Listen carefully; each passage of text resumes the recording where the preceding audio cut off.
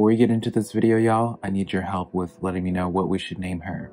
Um, I'm getting like the name Francis, Francine or something. Um, I'm thinking about like, you know, the, the nanny, I think there was like in the 90s the sitcom The Nanny. I'm thinking just like Fran or something, let me know, but um, hey girl. Hello, my beautiful Pisces. How are you doing? My name is Simply Velca, and today I'm going to be doing your weekly you versus them reading between you and your person, uh, Pisces. But when it comes to these readings, be sure to rely on your intuition. Um, I also do your weekly general readings for your zodiac sign, Pisces, which I'll leave a link to over here for you to check out.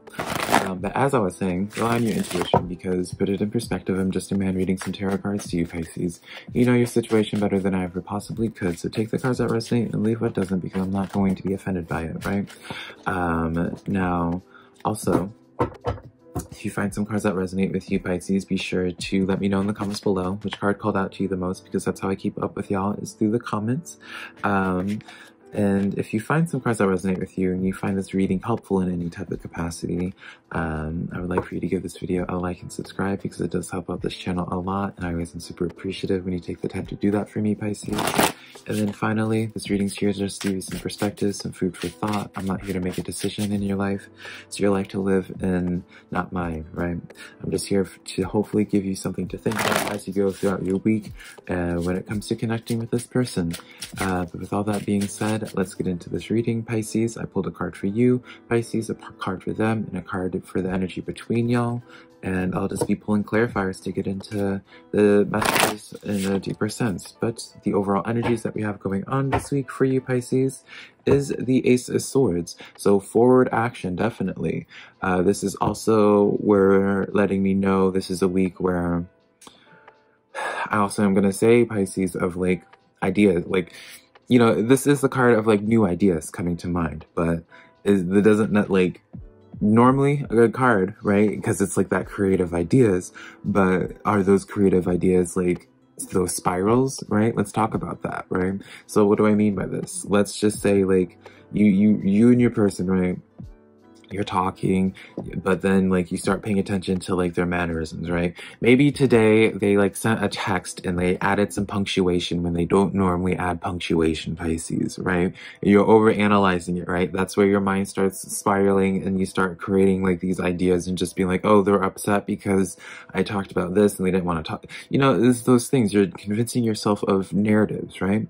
So that's where it's like, are those positive narratives or are those negative narratives? Now keep in mind, this is the overall energy, Pisces, so don't feel attacked just because I'm talking to you about this. This is also someone uh, that's happening, something that's happening to them as well. So that is something to keep in mind as well. Like this person could be spiraling in their own narratives as well. So be aware of how you communicate, right? The swords is the cards of communication. Um, communication in a very forward and uh, transparent way would be the best way to connect with this person this week. I want to say Pisces.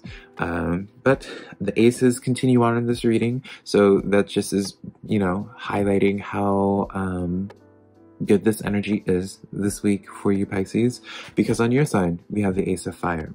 So when you have uh, aces coming up that's as a reader you would take that as being like okay like that's like a forward like a forward affirmation. It's more so when it as like a reader it's like if someone's like looking more so like if I'm giving you a reading personally Pisces and you have like a yes or no question this would be like a definite yes in terms of like going forward with something, right? I say forward especially because it's like the Ace of Swords it's like going forward um, into like battle. I see that as, and the Ace of Fire is like the Ace of Wands, um, which is like the Wands is forward movement, right? Um, passionate energy.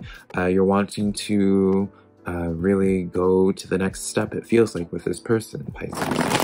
Um, on their side of things, they have the Three of Air or the Three of Swords. So there's pain of some sort going on here with this person, Pisces, and I kind of get the sense that it's kind of unrelated to you. Um, so that's something to consider.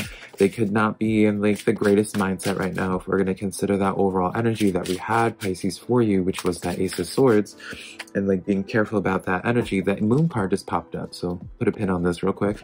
Um, finish what I was saying.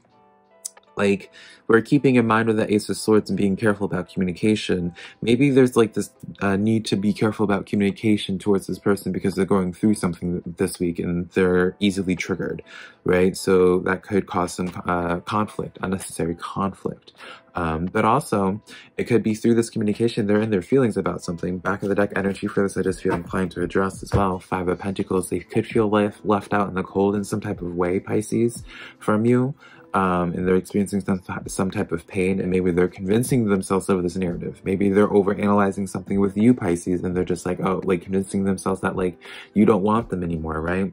You know, just all that because you have the moon card coming in, which is like revealing of like the unknown, something like catching you by surprise. I really do feel this kind of lets me know that it's like there's something going on that you're not entirely aware of, uh, Pisces. So if you were aware of it, it's and that sounds so ominous, right, Pisces? But I don't mean it in like such an ominous way. I more so mean this in a way of um Six of Cups somehow was flipped in here as well. So maybe something from the past related to that moon, as well something from the past uh, unexpectedly coming forward. Maybe for this person, and that's why they're going through that Three of Swords, right? Obviously, you would know if this is in relation to you or not, probably. But um, yeah, it just feels like I feel like this so it's more so like in a way like if you're aware of the situation happening you would just handle things differently. Um but yeah. And the energy between y'all two is the queen of earth or the queen of pentacles. So this is an energy really of um dealing with each other. And like as this card says uh make time for those around you. Take a sensible approach. Deal with challenges in a kind and understanding manner. Now this is the key part of this uh for you Pisces because it's like dealing with, with each other in a kind and understanding manner. That's like adding emphasis of being like, okay, like you guys just need to like make sure communication is good. Don't just cut your nose to spite your face, right? Don't just say things just to say things. Don't react right? Give them the benefit of the doubt, just as like you would want them to give you the benefit of the doubt, Pisces. But let's get some clarifiers. We're going to start with your Aces fire on your side, Pisces, and see what's up with this. Um, let's see. All right, we have the King of Swords, Seven of Pentacles, and then the Seven of Cups. Choice needs to be made about what you want to do next, but you Huh. What is the back of the deck saying? Four of... yeah, Four of Pentacles. So this is definitely... Um, you're in this headspace, Pisces, of where you're like... Where do you want to put your energy next? Right? You're wanting wanting to go forward. It's almost just like you're thinking about what is the next right move for you. Where, like, what is the next part of your storyline that you go forward with, right?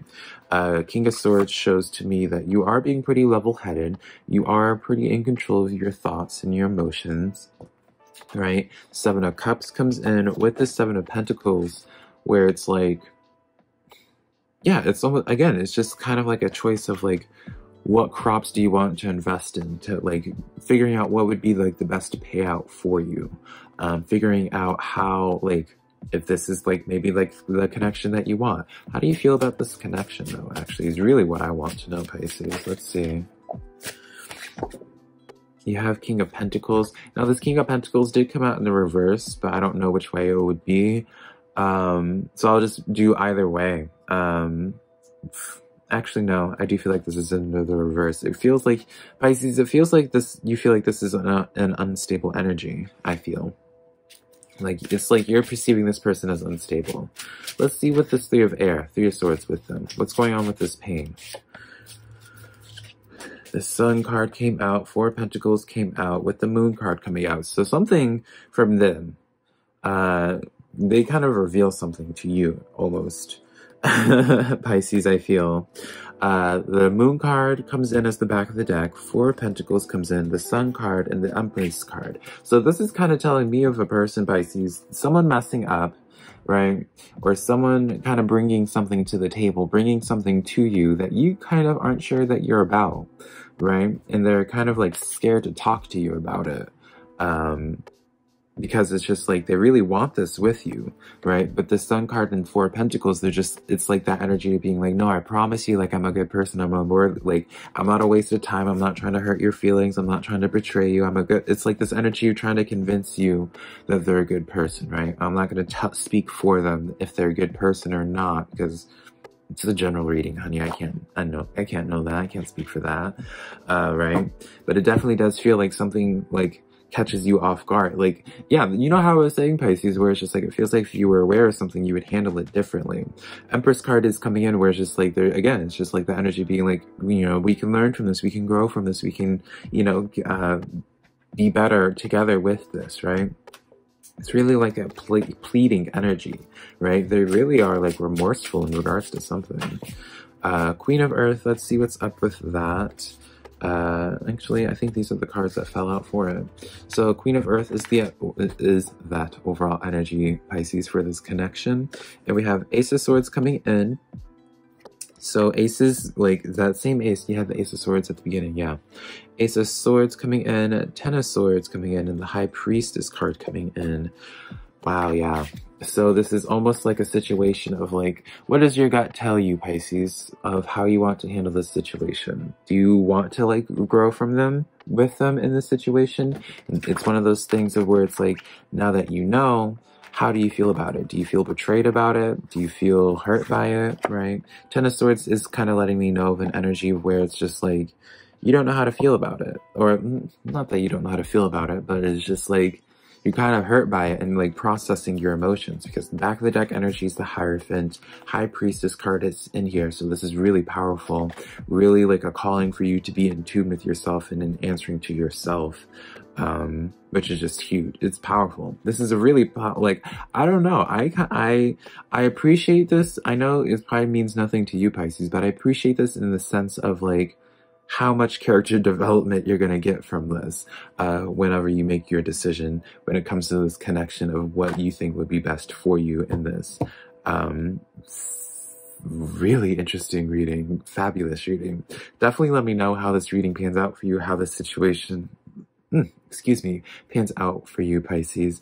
Um, that's the cards that I have for you. I hope this reading was helpful in some type of capacity. If you did enjoy this reading, be sure to let me know in the comments below. Be sure to give this video a like and subscribe. And then also, I would like for you to share this video with a friend if you think they might be into my messages as well. But until next time, Pisces, bye.